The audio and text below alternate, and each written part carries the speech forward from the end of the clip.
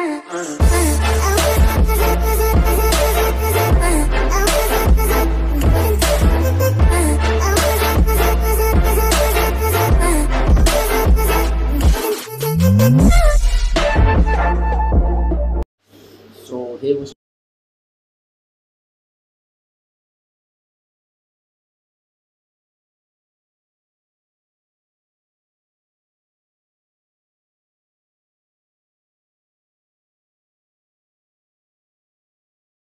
Fine so guys now next video